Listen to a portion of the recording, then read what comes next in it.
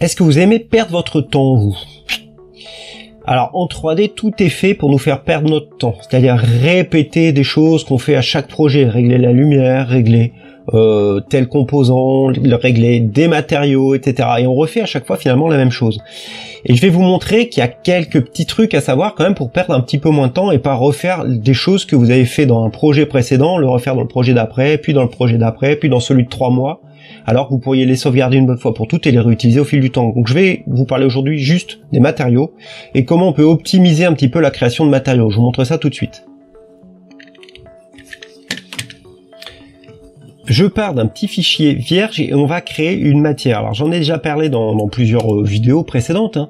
Je vais simplement créer une matière de zéro. Ça fera un bon rappel pour tous ceux qui veulent redémarrer un petit peu SketchUp ou verrez depuis, depuis le début.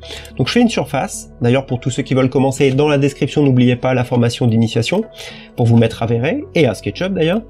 Donc je vais aller chercher sur Google une simple image de texture. Alors euh, on va taper euh, wood floor texture, essayer de trouver quelque chose, un parquet. Alors je vais rajouter le mot clé magique seamless, c'est-à-dire sans couture. Et on va se retrouver avec des parquets. Alors j'en prendrai peut-être un petit peu avec voilà. Celui-là il est bien, il a un petit peu de vécu, un peu trop petite cette image. Donc on va filtrer les résultats Google par taille, outils, taille. Je vais mettre que les grandes déjà et ça va me permettre d'obtenir des textures avec une certaine définition. Alors attention à celles comme celle-ci qui ont du texte, des watermarks, c'est pas, pas l'idéal puisqu'on veut sauvegarder. Hein. Je vais prendre celle-ci, alors j'attends qu'elle s'affiche correctement.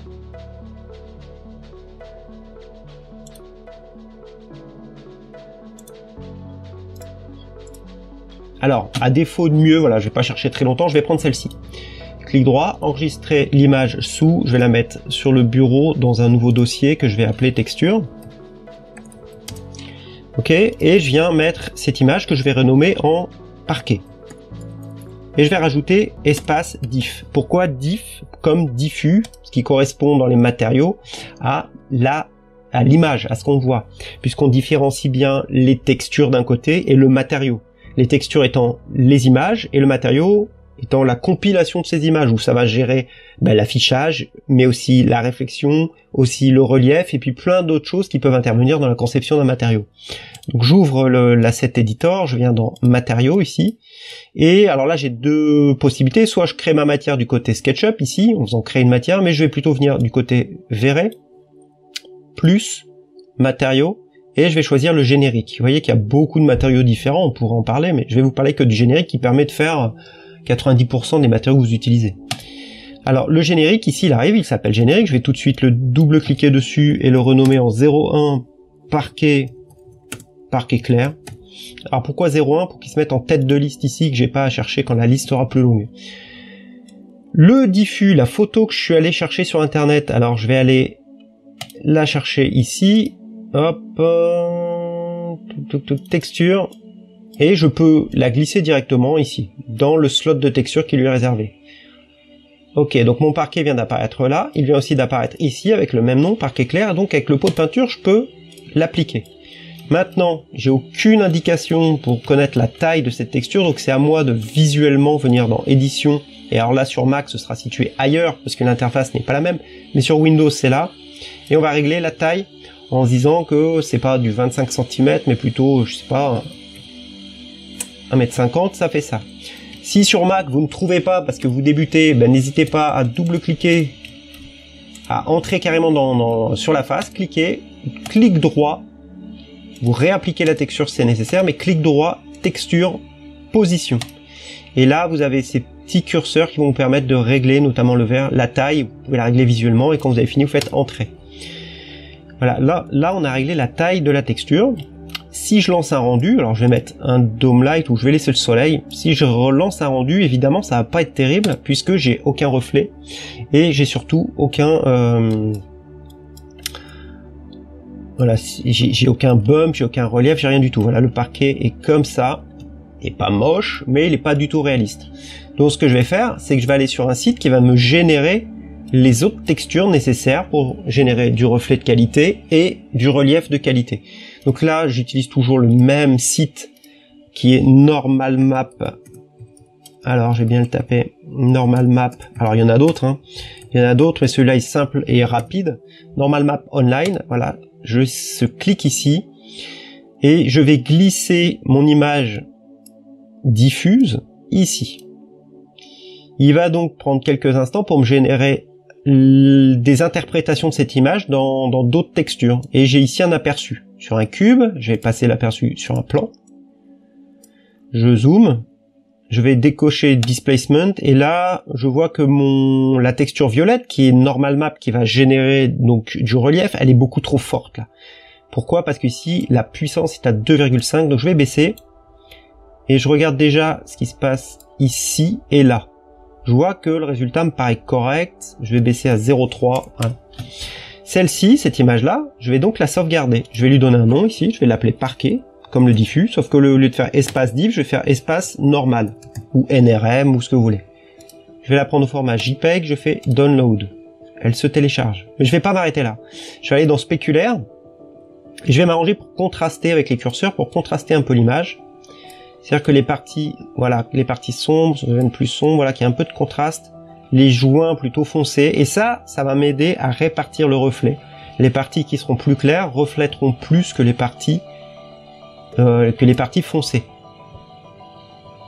Faire un truc comme ça, je vais la prendre et celle-ci, je vais l'appeler parquet, reflet ou comme vous voulez. C'est vous qui décidez. Hop, je me retrouve donc avec deux images que je vais copier avec le diffus ici. Vous voyez, ça m'a pris 5 secondes. Et donc si je résume, j'ai le diffus, j'ai un normal map qui va gérer le relief et j'ai euh, une texture noire et blanche qui va gérer un petit peu mieux le reflet. Donc je retourne dans VRE pour SketchUp et je vais venir dans réflexion. Je vais y glisser donc la texture de réflexion ici. Je vais descendre un petit peu celui-là dans les 0,6, 0,7 pour comme ce serait du parquet. En fait, ça c'est la puissance du reflet. Je vais déplier un peu plus bas la partie bump. Et ce que j'ai ici pour gérer le bump, c'est une normal map. Vous voyez que le bump peut être géré de deux manières, soit à partir d'un bump, soit à partir d'une normal map. Donc là, en l'occurrence, c'est normal map. Je vais le glisser pareil ici. Par contre, c'est pas terminé. Je vais cliquer là pour avoir un aperçu et je dois passer le color space sur rendering space qui va être beaucoup plus réussi au niveau du relief. je reviens en arrière et là j'ai un aperçu qui est vraiment pas mal. Je vous remets le rendu que j'avais précédemment, c'était ça. J'ai pas bougé, je vais faire un rendu de région, c'est-à-dire que de la moitié et on va voir la différence. Voilà. D'un côté, c'est mon parquet sans aucun réglage. De là, c'est le parquet avec les réglages que je viens de faire. Donc évidemment, c'est pas parfait. Il va falloir régler un peu tout ça. Le relief, je le trouve un peu trop puissant. Donc là, il est à 1. Je vais peut-être le mettre à 0,4, quelque chose comme ça. Voilà, juste pour un petit relief. Et la réflexion, là, c'est pareil. Là, elle est peut-être un peu trop forte. Quelque chose comme ça.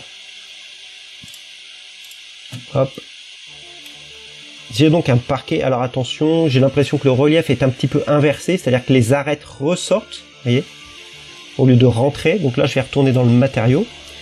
C'est le relief qui est ici, donc je vais le passer dans le négatif, c'est-à-dire que je vais faire moins 0,4. Et automatiquement, le relief s'inverse, c'est-à-dire que ça creuse.